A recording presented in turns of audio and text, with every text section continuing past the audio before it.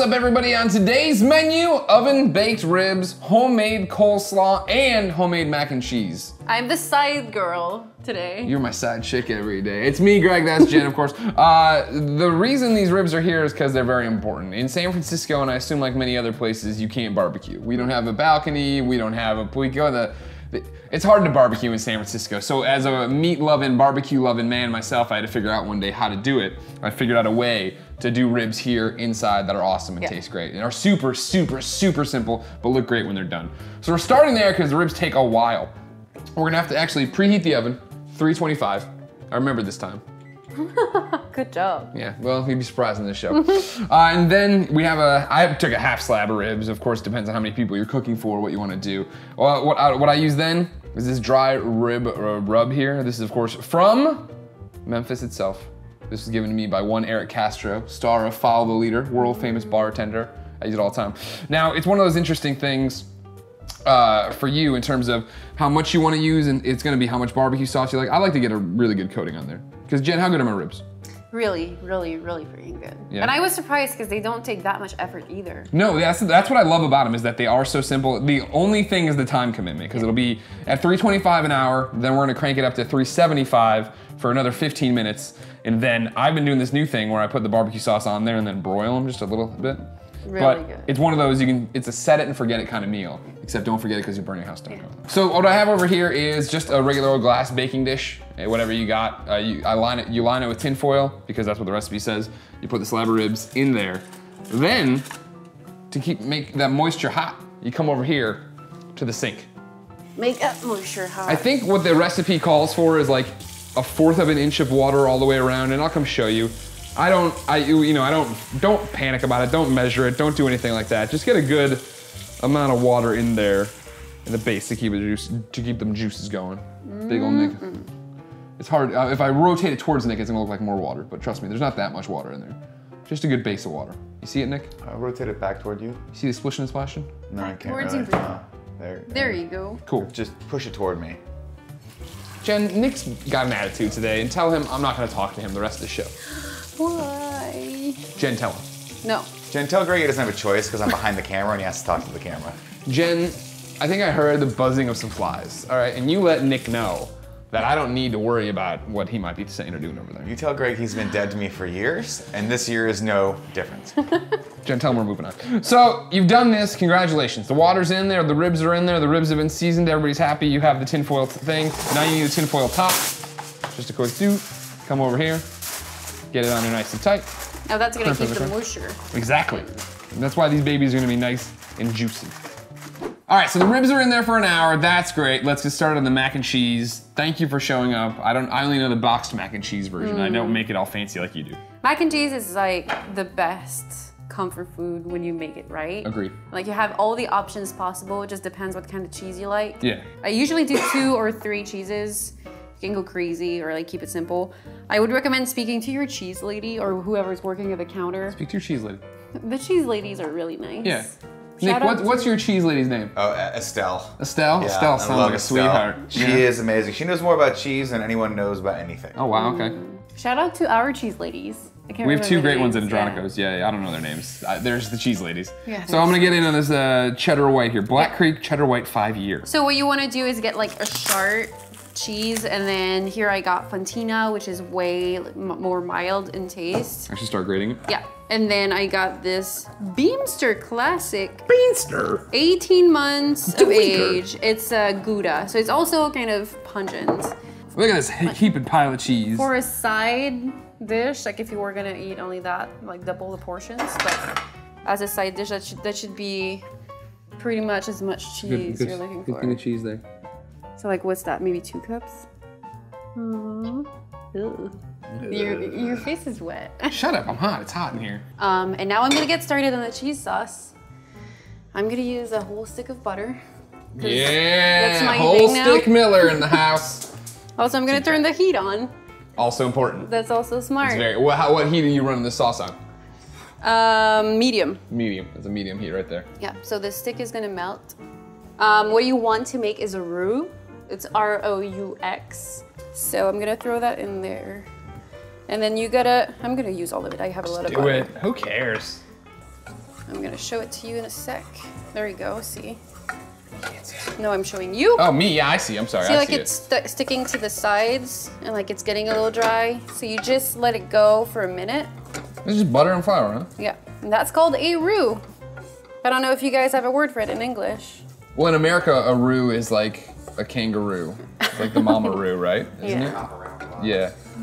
All right, so you're gonna use that base. It's gonna like thicken up like crazy. Here I'm using two cups of whole milk.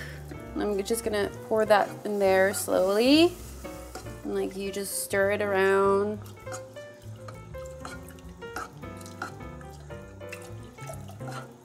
There you go. Okay. So you're gonna um, let the milk and the roux come to a boil. Uh, you don't want to let it go too long because milk in a saucepan can go pretty crazy, so it's gonna overflow. And Okay. You don't want to get to that point. You want to get to a bubbly point, not a crazy boiling high point. All right. So now the milk and the roux have thickened up together. What you're gonna do is just drop the cheese in the mix without making too much of a mess. It's all in the mix. And so it's gonna melt into the sauce and become a really heckin' cheesy sauce. Heckin'? Heckin'. I'm gonna do a little bit of grated nutmeg. Try not to hurt myself because I'm really bad at grating stuff usually. And you wanna do a little bit of cayenne, not too much. Kick it up a notch. Bam. All right. Rachael Ray. Well, I, no, I wasn't saying you do it. I'm just saying that's what you were Oh. doing. You know what I mean? And Maybe- see like how thick this is getting? Here, you. Oh, there you go. Yeah, cheese. A little bit more. Here, you. cheese. So you want um, like a very smooth consistency, not chunks of cheese. So we're gonna let it go just a little bit more. All right, so using a ladle, ladle, just gonna pour it right in. Yeah, you are. Ooh, doctor. And then Greg is gonna grab the wooden spoon Greg has the wooden spoon. and mix everything around. You got it. make sure they're all coated and like there's enough in the mixture. I think I'm just gonna yeah. Just gonna do it? Just in there. Why not? There you go. fine. Nailed it. All right. And you're just gonna mix it around. Mm-hmm. Make sure that it's fully coated and it's ooey gooey. Here we go. Ooey. Nailed it. This is looking good, babe. I know. Oh, my apologies. So now I'm gonna do a thing where I'm gonna use the leftover pepper jack cheese you left in the fridge. Right from the omelet episode. Yeah. And I'm gonna mix it up with some panko. Oh, okay. And now we're just gonna sprinkle the panko mix and the cheese mix on top. So it's gonna form a really nice crust uh, in the oven. Nice. So you're gonna get some color and some crunch.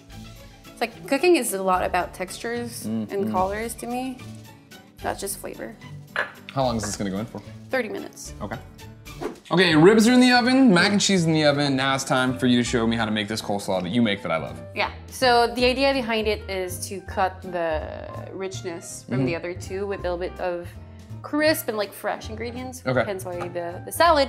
Um, so what I use is cabbage, two types of color, and then carrot just to add.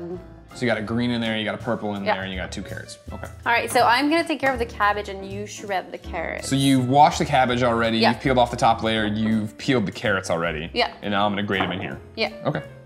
And so what you want to do, uh, texture-wise, with this salad is have something that's really thinly sliced, like as much as you can.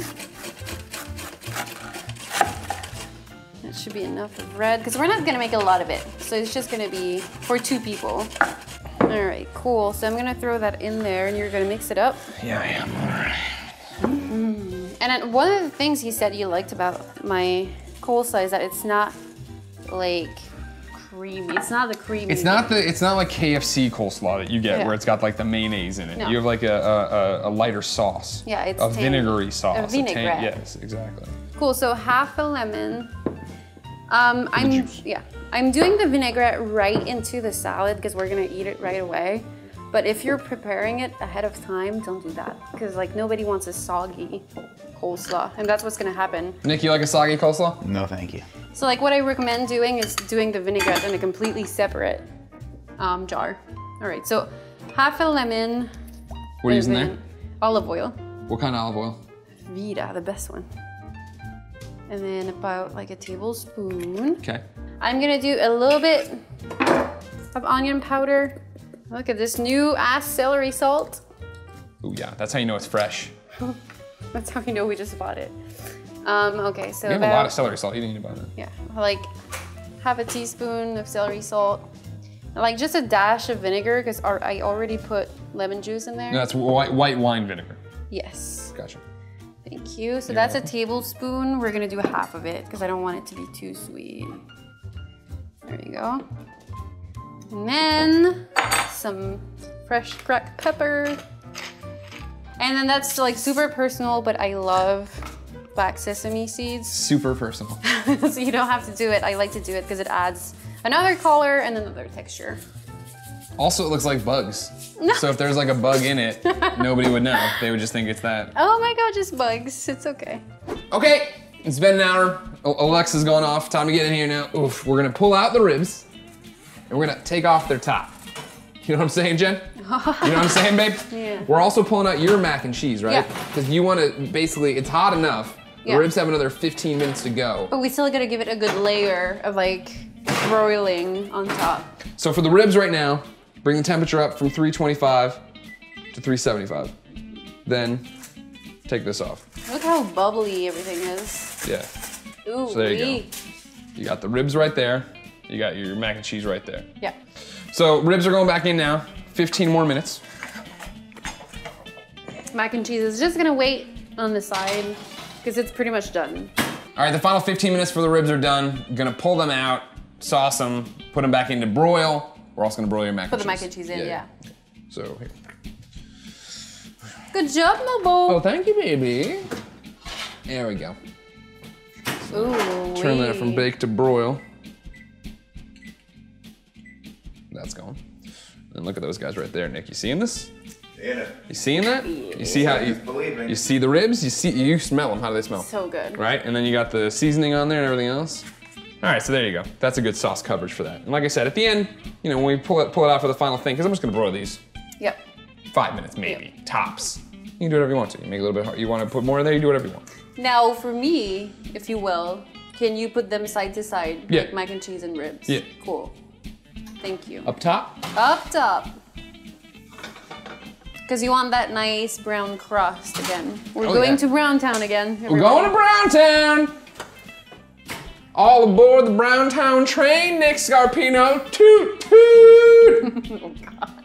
All right, the ribs are done broiling. They're bubbling. They're looking caramelized. Ooh wee. Look at that, look at that, look at that, look at that, look at that, look at that, that. Oh, see, see it all bubbling up there from the broiler. Smells good. Smoke, yeah. You can smell like the sugar in the sauce. Ooh. Look at Oh, that looks so tender. Look at that, Nick. You kidding me, Nick? You kidding me right now with the juice? Tasty. Just gonna drop that off right here. Okay. And then. Oh, hear that crunch? Yeah, I hear it. Nick, you hear it? Hard not to. Don't, don't, please don't jack off the mac and cheese. Hey, let her To do what she you- wants to. it's. America. I forget all the time she's in America now. She can do what she wants. Ooh wee. Ooh-wee. Look how gooey this is. Like that's what you want. You want them all to be coated and like oozing with cheese sauce. Oh, it's oozing cheese sauce, all right. Yeah. All right. That was fun. It was easy, and it's delicious. Ladies and gentlemen, that is ribs with Genevieve St. Ange's mac and cheese and coleslaw. Thank you so much for joining me, Jen. I'm so happy to be your side girl. You're not my. You are. You're just my. You're my partner. You don't have to say the side girl. You know what I mean? It sounds weird when you say it like that. It's gonna get me in trouble one day. Oh, yeah. with Okay. who? I'm your wife. Nick. Oh. Nick does not like. n- Not Nick's. Nick thinks he's. It doesn't matter. Nick's my work wife. Until next time. It's been our pleasure to serve you. I'm more like your bottom bitch. Oh Jesus God! Just eat the ribs.